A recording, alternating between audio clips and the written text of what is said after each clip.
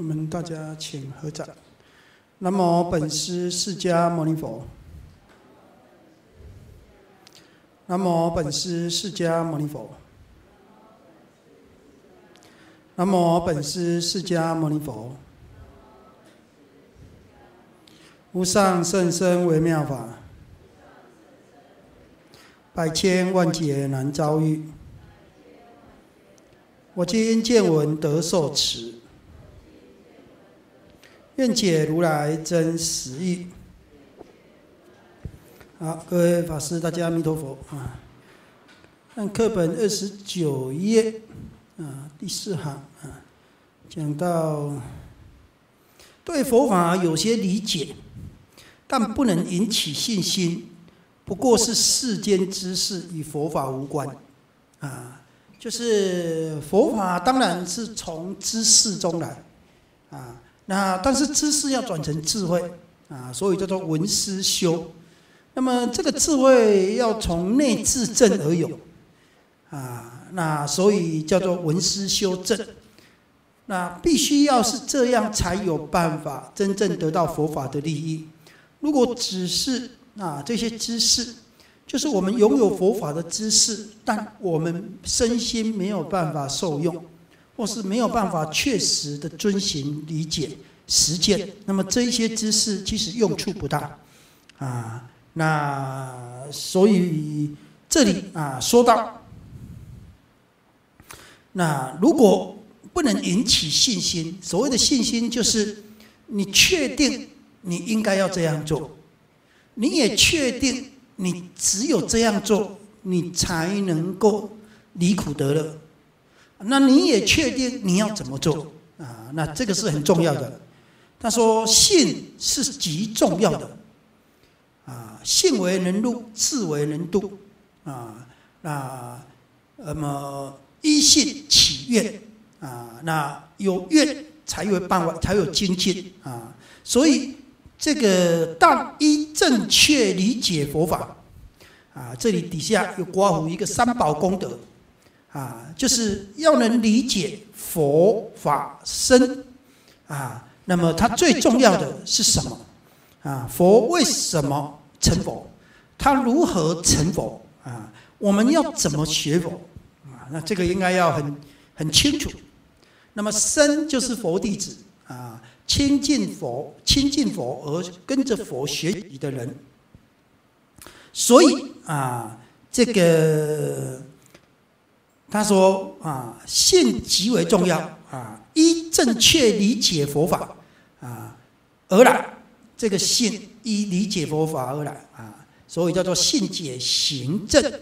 所以与一般神教的信仰不同，一般神教的信仰在养性，佛法的信从养性而解性，从解性而正性啊。那么这个是不一样的。”泥见若提子问直多长者啊，这个在杂含里面，那是因为有一天啊，这部经是教那直多长者有一天要去见佛，但是佛那个时候在打坐，所以他说有时间，那么他就经过那个泥见若提子的地方啊，就去找他，因为他听说泥见若提子有意吸收他为徒弟弟子啊。啊，要把他转为这个他的弟子，所以他就去找他。然后他去找他啊，然后尼见落提子就问他啊，他说：“你相信？你相信瞿昙啊？瞿昙就是佛陀。你相信瞿昙沙门说的啊？那么可以人可以修得无觉无观三昧吗？啊，无觉无观就是无寻无事啊，啊。”啊，无形无事就是二禅以上，就是心没有粗细的分别啊。那么这个尼犍洛提子认为，一个人不可能心没有分别啊。那么这个瞿昙沙门号称啊啊可以得到无觉无观三昧，他认为是不可能啊。所以这个执多长者来，他就问他：你认为瞿昙沙门？啊，所所说可以得无觉无观三昧，你认为是可能的吗？啊，那这个知多的长者就跟洛提子讲，啊，我不以信故来，啊啊，这个意思就是我不是因为相信释迦佛瞿昙沙门说的，所以我才来的，啊，那这个洛提子这个尼犍子啊，就非常欢喜，啊，你真的是，你真的是这个释迦族里面最聪明的人，啊，这种话。这种话在提婆达多被佛陀说害佛之后，然后佛说他会下地狱，那么富兰娜也这样跟他讲，啊，富兰娜说，我觉得你，我一直觉得你是，你是释迦族里面啊，沙门集团里面最聪明的人，啊，想不到你跟他们一起笨，啊，为什么？根本就没有第一，根本就没有果报，因为富兰那是。强调没有没有这种业报的人嘛啊，那这个是瞎说的，你还信啊？所以啊，他就这样讲提婆达多啊。后来提婆达多受他影响啊，他也认为应该没有业报 啊，所以就变成断善根啊，就断善根。所以这个尼犍子啊，就跟这个直多罗长者说啊，那你真的是释迦族里面。不是释迦族了，就是瞿昙沙门里面最聪明的人，啊！你不信，你不信瞿昙沙门，啊？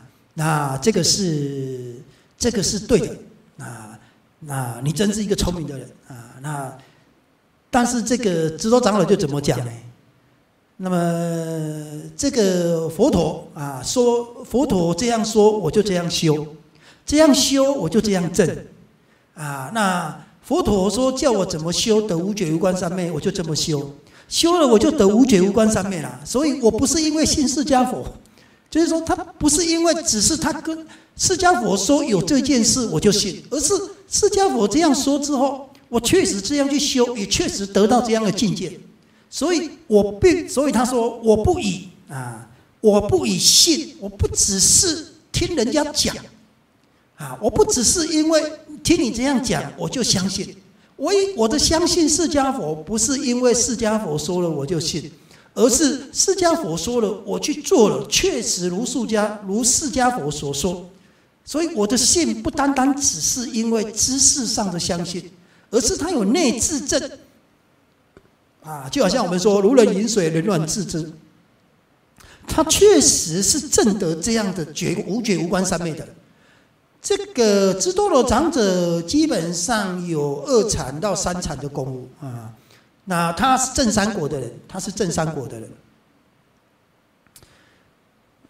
那他说，所以佛法啊，导师是引这引这个引这句话啊，拿来说，我不以信故来，那意思是说，我不单单只是因为别人讲我就相信，这个别人不管是谁啊。即使是释迦佛，我们相信也不单单只是因为是释迦佛讲了就相信，而是透过释迦佛讲只是闻，还要透过思，要透过修，然后证啊内自证，那你就真的相信了。啊，像舍利佛也是这样，舍利佛，舍利佛也是啊，跟释迦佛说，因为佛说一法，我就知一法，我就知道这个知只是知识上的了解。啊，那么我知一法，我就修一法；修一法，我就断一法；断一法，我就正一法。啊，也是这样。所以我相信这个世间最殊胜的是什么？就是佛了。啊啊，舍利佛也是这么说的。啊，所以说这个意思是什么？意思是说，我们相信佛法不单单只是啊，因为谁说谁说就相信。啊，《杰拉摩经》里面，《葛拉玛经》又是换作《葛拉玛经》。不要因为权威就相信，即使这个权威是佛菩萨，不是叫你不要相信哦，不要叫你是叫你不要只是这样相信啊，因为闻之后还有思修正啊，啊，那不要因为权威就相信，不要因为传统就相信，不要因为啊，那么合乎逻辑就相信，不要因为合乎你的意愿你就相信啊。也不要啊，因为啊，那么你有所感应，你就相信。要什么？要你真正明白内自证啊。我们常常因为哦，这个是哪一个大师说的？这个是谁说的？谁说的？我们不是，我们不是通通怀疑，不是。但是我们要验证啊，那现在何况现在有很多都号称是佛说的，其实也不是佛说的，跟佛没关系，啊，真的，啊，都号称是啊秘法啊，那么特别殊胜的法啊，其实有些跟佛完全没关系，啊，那所以你必须要透过验证，先透过在验证在修行之前，先听了之后多听，听了之后想一想合不合乎逻辑。啊，有没有道理？因为佛说法有义有利嘛，他一定有道理。他不会跟你讲，你不要管那么多，你仔细修就好，努力修，最后你就会知道。没有，佛绝对没有这么爽过。佛讲的都是你听了之后，你要如理思维，听的时候要专心听，想的时候要仔细想，叫做谛听谛听，善思念之。想清楚，想明白了，那么要怎么样？要如说修行。独一进处，专精思维，不放逸住，都是这样讲的啊。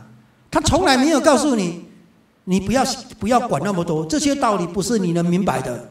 这个是不可思议的佛法，甚深甚深，你不能明白。你只要照着做就好，做到最后你就知道，绝对没有这么讲，绝对没有这么讲。他都告诉你要谛听谛听，善思念之，然后思念清楚了，明白了，那么要怎么样啊？就是思维啦，要如理思维，然后要如说修行，啊，要找一个地方安静的地方，独一进处，没有干扰的地方，才能专注嘛。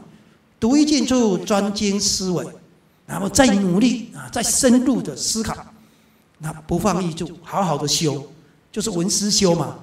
闻了之后，如是我闻之后，要如理思维，如理思维之后，要专精思维，专精思维之后，要说说思维。然后呢，要如说修行，然后若一日，若二日，若三日，若一年，若两年，若三年，啊，那就这样不放逸住，啊，其实佛法是这么教的。那我们现在有很多不管那么多啊，那么都说是佛说的，其实其实佛陀告诉你的一定是有义有利有道理的，啊，那我们很多修行其实是莫名其妙的，没有道理的。我也不知道怎么做，但是大家都说这么做，那我们就这么做了。啊，那我相信佛，所以佛叫我做我就做了，没有错。有时候信行人是这样，但是他绝对有道理，他绝对不会没有说没有道理。啊，说告诉你这个咒念了就能往生，为什么？佛说的啊，不用问为什么啊，没有没有这种事，没有这种事，一定要有道理，有义，法具意味嘛。法具意味，所有的法具都有义有味，同法同具同义同位啊！那这个我们要知道啊，那所以，因为我们大部分人的修行哦，都都只是注重在专注，那么虔诚，那么精进，有道理没道理放一边啊！那其实不是的，要先明白。这是什么法？为什么要这样修？道理在哪里？啊，那比如说，他叫你观五蕴无我，为什么要观五蕴无我？啊，因为有我就是生死的症结，所以叫你观五蕴无我啊。啊，那么他为什么告告诉你六路处法门？因为贪爱是造业的根本，贪爱从哪里起？从根尘世和合生起，所以。他要告诉你这一些呀，这个都是道理啊。他为什么要告诉你缘起？因为缘起就是生命跟身心的分析，那就是你轮回跟烦恼的根源。所以他要让你明白这个这个为什么会有哦，是因为这个来。那这个又为什么会有哦？是因为这个来，叫做有因有缘世间起，叫做此有故彼有。告诉你这些嘛？那你不明白了。你管他有没有啊？反正我用功就有，不是的；我修行就有，不是的。外道也修行啊，谁不修行？啊，那用功用功就有吗？不对，方法不对，不会有。努力努力就有吗？不对，啊，精进就有吗？不对，啊，不是的。啊，那你要吃不对了，那么你怎么用功都没有，不但没有，可能还会一身伤痕。啊，可能还满身罪业啊！真的啊，所以你不了解，闷着眼就修啊，那毛起进来就修啊，这个是不对的。第一个就是要正确，要正见啊，没有正见，没有正思维，没有正见正思维就没有修行啊，身心的修行，正语正业正命正精进正念正定，都从正见正思维来。那正见正思维从哪里来？从正信三宝中来啊，就是这里讲的。啊，要从正信三宝中来，啊，那么所以这里说到。啊，佛法依正知见，啊，正知正见，啊，那么而尽求自身修业，啊，自己要有内自证的，啊，不是一般的盲目信仰，所以我常常说嘛，啊，很多佛教徒迷迷糊糊的修行，啊，颠颠倒倒的修行。啊，烦烦恼恼的修行，啊，那么不清不楚、不明不白的修行，都是这样，啊，那有一些感应，啊，有一些感应，啊，就以为啊，那么这个就是修行了，不对啊，真正的修行不是得到什么啊，真正的修行是不执着什么啊，不是你，是你不执着什么，因为我们最大的最大的症结就是我们执着。执着什么呢？执着从内在来讲，执着这个执着这个身心是我；从外在来讲，执着这个境界是我所。从这里来说，那我们大部分现在的修行都放在本来没有的境界，现在有了。哇，见光、见佛、见花啊！那么这个身体变好，事业变顺利啊！那么都变成有有什么有什么有什么。不对，不是在这里，而是你原来的执着没有了。它重点在去掉你原来的执着，原来的烦恼。本来会本来这样会起烦恼的，现在不起烦恼。本来这样有贪的，现在不贪了。本来这样有嗔的，这样的境界有嗔的，现在不嗔了。本来这件事。我很喜欢，我一定要想办法占为己有。现在不会了。本来这个人跟我讲这句话，我一定会反击，一定会反驳，一定会反抗。现在不会了。从这个地方，而不是我本来没有钱的，现在变很有钱了；我本来没有名的，现在还变很有名了；我本来我我本来不能见佛的，现在见佛见见光了，见花了啊！我本来我我本来怎么样的，现在多了什么？不是。是他要去除，因为有因有缘世间起嘛，有无名，有业，有烦恼，祸业苦嘛。现在把祸去掉，把业去掉，把苦去掉，没有多什么，就是减少你原来的障碍、原来的烦恼而已。啊，那么所以老子也讲嘛，损之又损，去掉你原来的烦恼，去掉你本来会造作的业，去掉你，这样才能去掉你的苦。你一定要朝这个目标，就是烦恼的递减，烦恼的递减，执着的执着的递减，就是越来越不执着，越来越不烦恼，那么你就越来越不痛苦。啊，那你没有，你要获得的更多啊！这个求完了要求那个，那个求完了要求那个，你永无宁日。啊，因为你不知道嘛，你就觉得我我现在有了这个，我现在还要求什么？还要得什么？还要得什么？还要得什么？啊，那你一直一直在那边境界上思量琢琢磨，我用什么方法？要念什么？我要做什么？我才能够获得更多？没有，你要得到的一切，你要得到的一切界定位，不过就是为了熄灭你原本的贪嗔痴。所以你要从有贪嗔痴有没有熄灭去着手。你的界定位如果不能够洗除你的贪嗔痴，你的定界定位有什么用？没有用啊，没有用。你的界定位不是佛法的界定位啊，所以你这个观念要有，那你才有办法在修行上啊天天进步啊，这个是很重要的。那你要常常观察你的身心啊，因为烦恼不在别人身上。烦恼不在境界身上，都在我们自己的心身上。心面对境的时候，没有如理思维，没有冷静思考，没有智慧的观察啊，那就会起烦恼。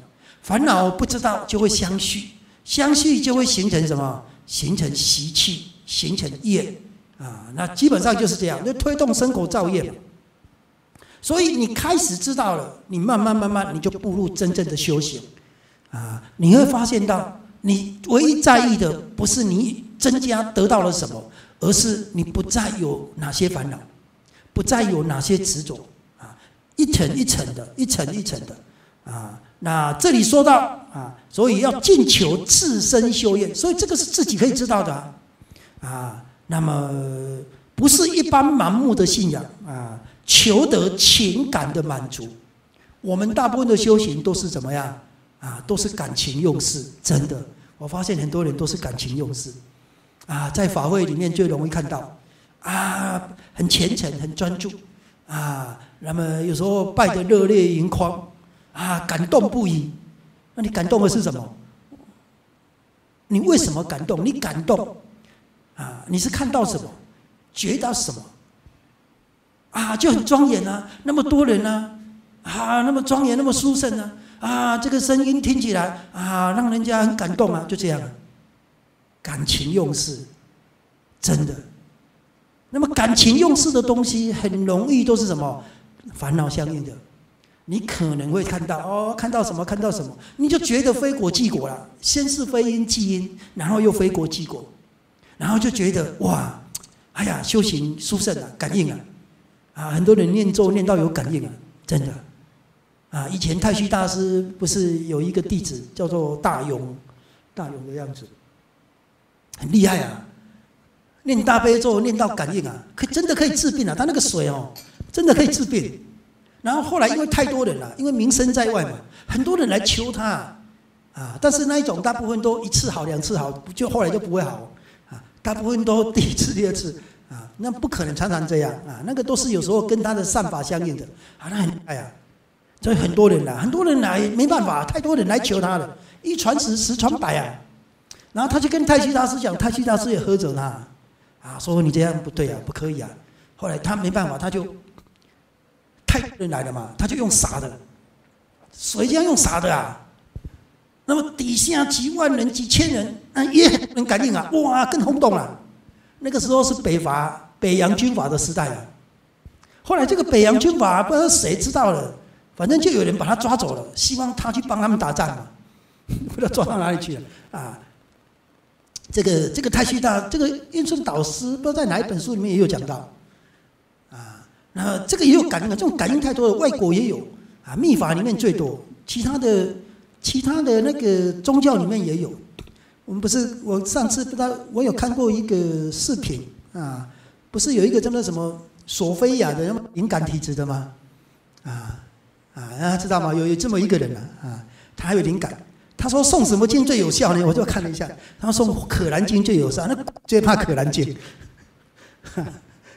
我又看到，那个都那个都不一定。我告诉你，有效没效，第一个要看看是是什么业。那个鬼相应什么？是什么人送？怎么送？啊，他主要是看他的心跟他的业了，还要看那个鬼。啊，你说可兰经最有效吗？啊，你说玫瑰经有效？你说波切饭经有效吗？你说送地藏经有效吗？你说送普门品有效吗？我告诉你，如果你这样讲，我就知道你不懂佛法。啊，诵经有没有效？有没有功德？其实牵涉的因缘非常复杂。第一个，什么叫做功德？什么叫做有效？啊，那么这个先要弄清楚。啊，那你说能不能超度？啊，我就看到他说，哦，这个因为经过他试验，啊，送可能经鬼最害怕，啊，那那要看是哪一个鬼，啊，那他真的是害怕，他为什么害怕？啊，那真的是可你诵经的时候诵可兰经，可兰经里面的神会出来吗？你诵《金刚经》，《金刚》里面，《金刚经》里面的金刚神会出来吗？啊，你送《药师经》，八大药材、十二药材会出来吗？啊，是这样吗？啊，不是的。像类似像这样的观念，这些很多都是他不了解。啊，他因为他人都是凭经验，那么凭感情、凭感觉啦，凭感觉、凭经验。就我们很多修行人也是这样啊，凭感觉、凭经验。这个没有办法成就，真的，啊，所以要你有定有慧就是这样，啊，要要你修定的时候，就是你不要依赖你的感觉，这感觉是不可靠，不要因为感觉就相信，不要，啊，那你也不要因为啊哪一个人是很厉害的，然后你就相信，比如说好，那个人讲啊，那个人是权威，那个人是代表通灵界的，啊，我告诉你，另外一个人讲又不一样了，真的，啊，那像这一种，很多人不知道。啊，那有时候修行久了哦，他会有一些，他会有一些，就是都是会有一些体验跟感应的，会有一些，不要就相信这一些。即使即使给你看到天人来了，怎么样来了，你都不要执着这一些。啊，你一旦执着了，后面就很麻烦。那么你执着了，那么你就认定这样，那个就叫见，那个叫做见取，那个叫做见取哦，你就认定这样的观念。认定这样的方法就是对的，啊，比如说我们做华为的时候啊，看到有那个鬼来，那领了很多东西走，你就觉得超度有效，啊，你就觉得超度有效，啊，那么就是真的可以把鬼超度了。啊，前两天还有一个居士来跟我讲，啊，他他们有一个谁，然后往生了，然后他跟他办超度，然后就看着看到那个人来，啊，感谢他走了，那明年又跟他办，他明年又来又走了，所以他就非常相信。那我说，既然有效，为什么他明年又来？那到底是超度到哪里去？如果有效，为什么明年他就觉得有效啊？不然他怎么？你看他第一年他又来了，第二年又来了。那我说，如果超度，超度的意思是什么？超越度脱轨道嘛，先不要讲超越度脱三界，超越度脱轨道。你第一年看他来了，对不对？好，你跟他办超度了，他第二年又来，那是怎样？他被遣送回来哦。啊，他也不能回答我。嗯，对哦，好像。那为什么超度有效？他又什么？他他为什么又回来？啊，那有些人会说，那第一年没有超度走啊，所以要再办一年啊，办到他走为止啊。那要办到什么时候？那我怎么知道他有没有走？那如果有效，第一次就有效了，那是怎么样啊？所以，所以我们有一个很奇奇怪的观念啊，我们觉得超度有效，不然你怎么会参加？不然你怎么会用？一定是有效的嘛？你这样觉得了？那你有效，有些都是听人家讲啊，我看到怎样，看到怎么样，就是这种感感应的啊。可是你有没有好好想？那么什么叫做超度？什么叫做超度？超度到哪里去？为什么要超度？要如何超度？是谁需要超度？是谁可以给人家超度？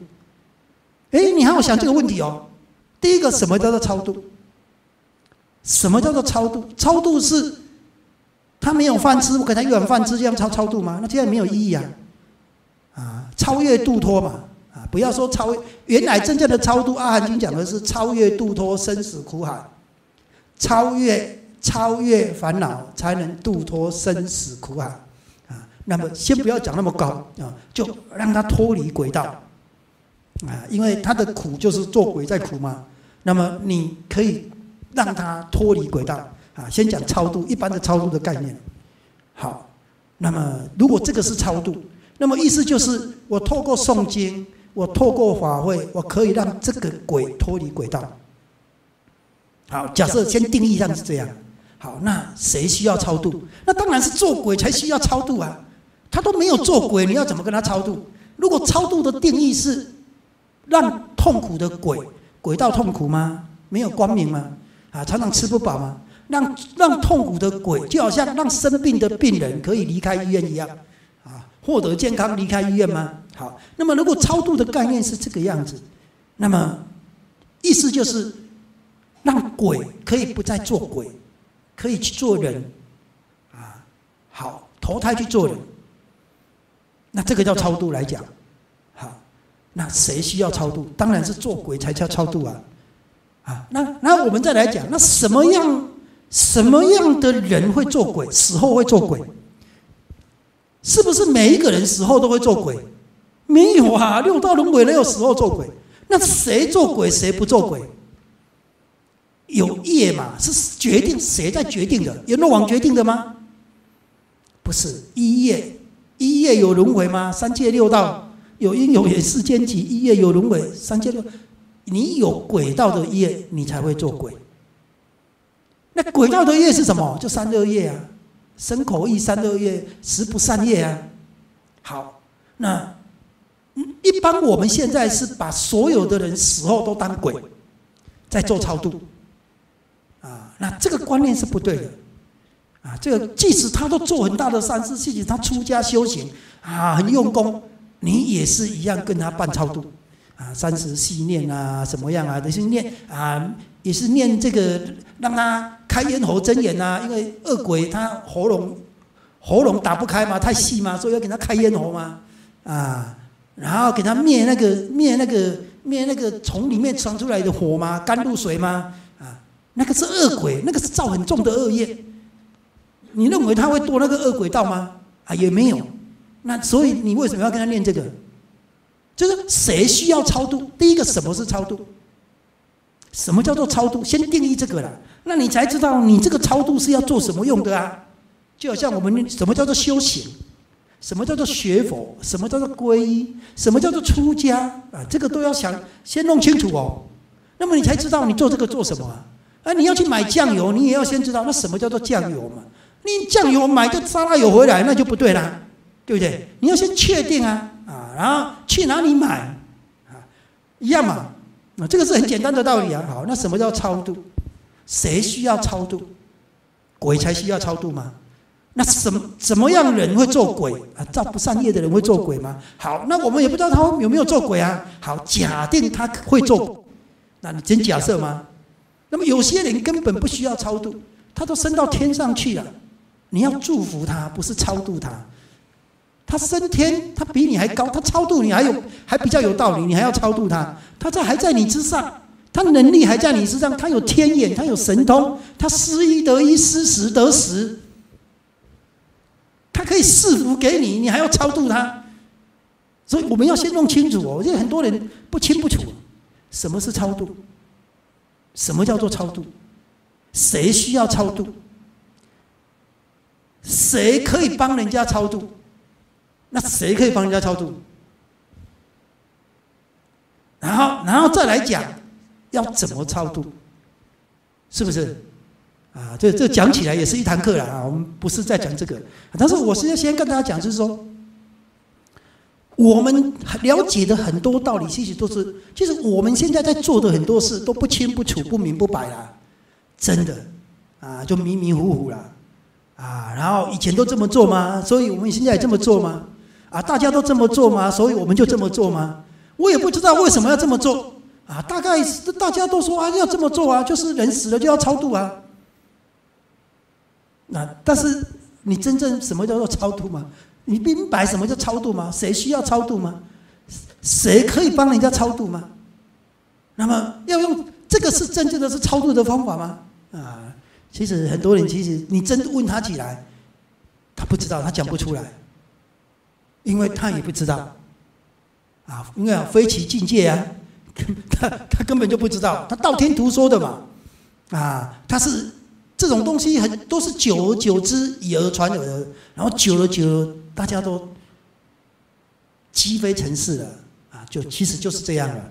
好，我们让底下看，啊，所以他这里讲啊，那么不是情感的满足啊，这个很重要，不要感情用事了，啊啊。第二个戒啊，这第一个是信啊，相信。第二个是戒啊，是善良的德行啊。那戒里面有很多，有出家戒，有在家戒。那戒啊，有时候叫思罗，有时候叫律仪。那律啊，那失罗是好习惯，是清凉。律仪是条幅啊，那么佛法以世间正行为基啊为基础而尽向解脱啊，戒是最最基础的道德标准。那么会界定为到解脱，解脱是道德的圆满啊。那么戒是道德的基础啊，定是道德的真善啊，它有真善力嘛，会。是道德的完成，啊，那么解脱就是道德的圆满就近，啊，基本上是这样，啊，那么所以它是以世间正行、正与正业、正面世间的而为基础，而进一步向解脱的。戒是基础，不应该以持戒为满足。那很多人以为持戒就怎么样啊？持戒就就够了啊？持戒就就可以就可以解脱了？没有，戒别别解脱，但是戒只是最低的道德标准而已。啊，持戒不能解脱，没有持戒也不能解脱，但是单单持戒也不能解脱。四分律里面不是有说，我们送戒不是都会送到吗？名人人护戒，人得三种乐，怎样？名誉、吉利呀，死后升天上。啊，初一十五不是都要送戒吗？啊，十五跟三十了。名人人护戒，能得三种乐：名闻、吉利啊，死后升天上。得名闻利啊，名誉吉利啊啊，就是名闻利啊，名名誉吉利啊，就是名声会很好。哇，这个持戒什么出生了，名名闻利啊，死后升天上，就这三个。戒尽有智慧，才怎么样？才得第一道，方得第一道。你看，还是要有智慧啊。那我们现在很多人不知道啊，那就以为以为啊，诵戒，我好好持戒，研究戒律就好了。没有啊，真的，你与其研究戒律，戒律是要研究啊，但是戒律你要持守。但是你最重要的不是研究戒律，是要研究什么？研究佛法，身心研究缘起。这个才是最重要的，啊！我记得我我那个时候去圆通寺上课，圆通寺啊，那普利圆通寺啊，他们请我去上课，啊，上几天他们就不让我上了，啊，为什么呢？啊，因为我跟我跟他们讲，我第一天我就跟他们说，啊，我说他说，因为他们都持戒的嘛，我跟他说佛法是要重戒，但单单持戒不能就解脱，啊，一定要有智慧，要有缘起无我的智慧，啊。然后那个住持就很紧张来跟我讲，说法师，你不要回谤戒律啊，你要赞叹戒律啊。我说我没有回谤戒律啊，我是照佛陀说的。哎，四分律里面就有讲了啊，名闻激励养，死后升天上啊。要戒尽有智慧，什么叫智慧呢？缘起无我的智慧，解脱。因为你生死的根本，生死的症结是什么？我见。你直接不能断我见啊，你要智慧才能断我见啊。这个不是我说的，这个是佛说的啊。名闻吉利养，死后升天在哪？戒尽有智慧，方得第一道吗？我说，单单持戒不能得救，不能得解脱，必须要有智慧。他很紧张啊，他说：“不要叫我不要回谤戒律，我没有回谤戒律啊，我是告诉你事实是这样。但是你不，你没有持戒也不能解脱。你没有持戒，不但不能解脱，你还会怎么样？你还会堕三恶道。一定要持戒，但是不是只有持戒？”啊！我告诉你，那个那个泥剑子，那个持戒持的急眼啊，出门都要戴口罩啊，不是因为有病毒啊，是要防不小心误杀这些细小微虫生物啊，细菌去鼻孔里面啊，啊，出门都要拿扫帚扫地啊，啊，不是怕脚刺到刺到玻璃啊，是怕踏死那些虫呀，啊，那吃的可清净啊！我告诉你，啊，能解脱吗？不能解脱啊！啊，真的。那所以有时候你真的是不懂道理，我觉得是用功是用功哦，那么没有办法得到真正的真正的佛法利益了，真的啊，那你也就是不堕三恶道而已。但是你说真的不堕三恶道吗？我告诉你，也不会，持戒也有可能堕三恶道。为什么？因为你没有智慧，有可能产生邪见啊。最明显的就是虚云老上不是有一个徒弟吗？啊，不是徒弟啊，他们一个注重啊，管库房嘛。然后有一个沙弥嘛，然后借了钱没有还嘛，然后他就没有还就算了，他就跟他要啊，因为他是管管库头的嘛，他要他要把这笔账收回来，他请人家去催催跟他要啊。那个沙弥好像是净明还是什么，还是那个比丘叫净明，我忘记了啊。那么你去查虚老上的脸谱里面就有，然后他就。他就怎么样？他就跟他催，好像不知道欠多少钱了啊！因为他沙弥受戒都要交那个戒，交那个什么超度祖先费嘛啊！我记得我受戒也有交啊啊！每一个人都要超度祖先啊，那么好像不知道交多少钱，三千块还是多少钱我忘记了，好像好像三千块啊！啊，前一天又要拜忏拜到很晚，啊，怕会有障碍，然后要超交超度祖先会了，啊，然后那他那个时候不知道谁规定的啊，不晓得，啊，好像出家的都要超度祖先啊，然后这个他就跟他没有钱嘛，他就跟常住借钱，那不知道借了多少钱啊，然后没有还，他没有还，他也不想还，啊，收完借没有还。然后跟他要，他就伪造伪造收据，然后跟他讲：“你看我有还啊，就拿去给他。”他一看就知道这个是假的收据嘛，就更生气，所以就很憎恨他，心里面这个梁就结下：你这个出家人啊，不持戒，妄语，轻损常住啊，轻损常住。如果依地藏经来讲啊，这个是要堕地狱的，就是后来戒律把这个讲得很严重啊，就是。这个所有的罪，无逆十恶都能救，啊！但是损坏、破坏十方常住、侵损十方常住物，我不能救，讲得很严重，啊！那那个时候他就对这件事情耿耿于怀，心里面起嗔恨心呐，极大的嗔恨心啊！所以你看，有些持戒的人啊，起起嗔恨心起来是极大的，啊！你你会造业，你会堕地狱、堕三恶道。是因为你的烦恼，贪嗔痴啊，尤其是嗔啊，啊，但是不知道，他以为啊，我就照做啊，过不死啊，三天一波啊，啊，时间到了我就送戒啊，啊，我出门都请假啊，啊，节目我都有到啊，啊，然后我就遵守这个，我就不会多少得到。我告诉你，一样会。然后还有那个人死了到哪里去做护法神、鬼道有财鬼。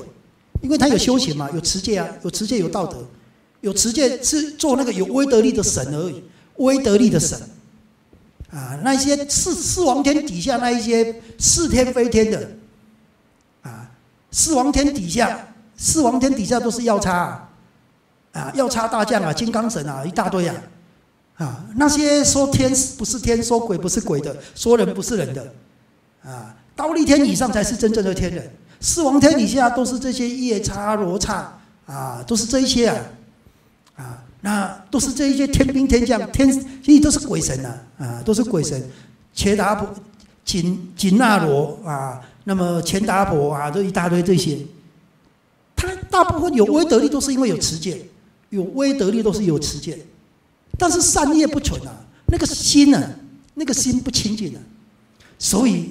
你也你也有善业啊，你有持戒啊，那就做做什么？做天兵天将啊！所以那个那个谢老上那个徒弟死了就做做有财鬼，好一点的做土地公也不是好一点的，就是心比较嗔恨心不强，贪爱心强的就做土地公这一类的啊，贪爱心嗔恨心比较强的就做那种打仗的那种那种天兵天将那一种的。啊。那有些做做阿修罗啊，那这一些的。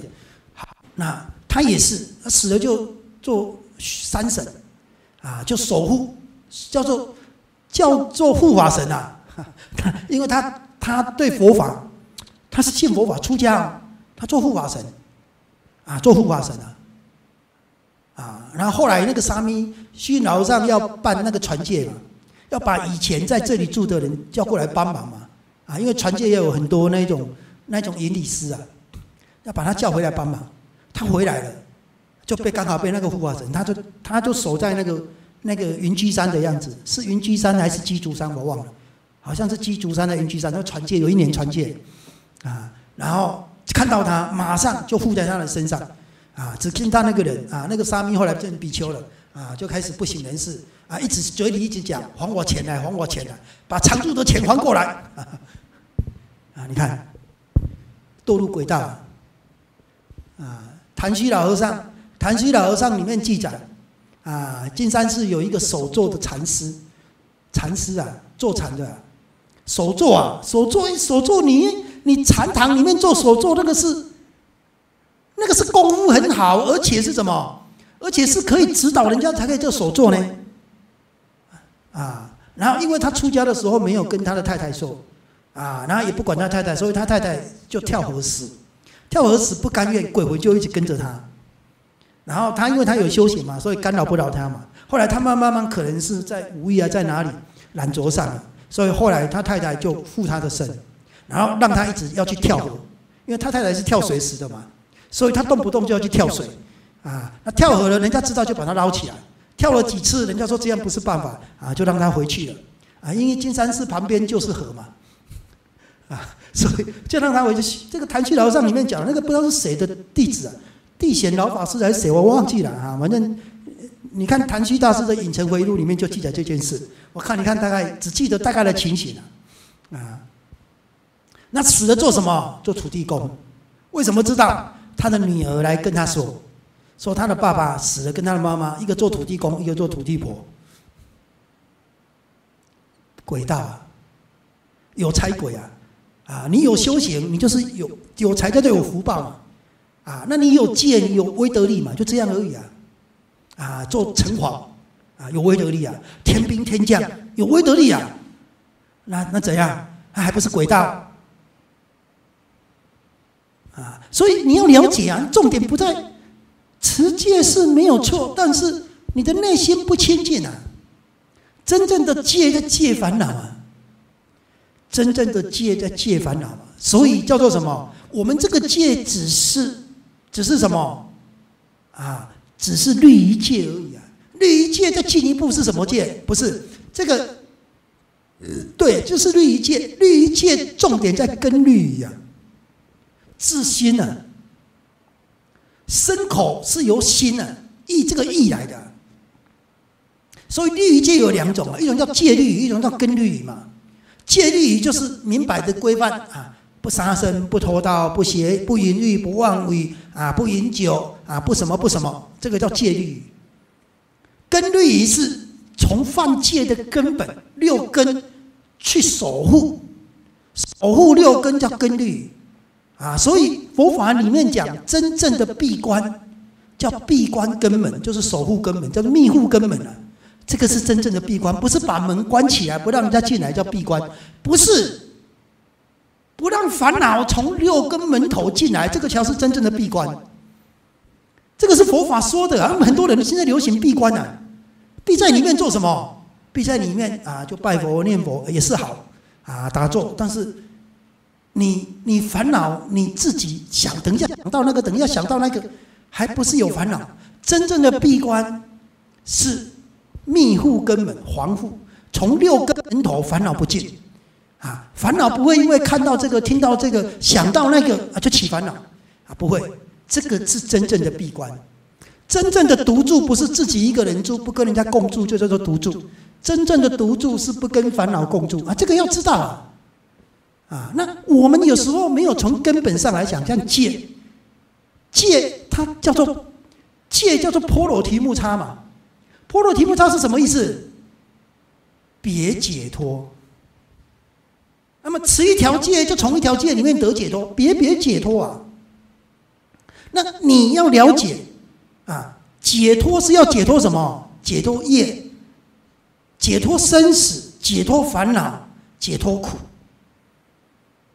啊！那别解脱律戒律，戒律后面有根律，律后面有什么？有禁律生律，就是定共戒。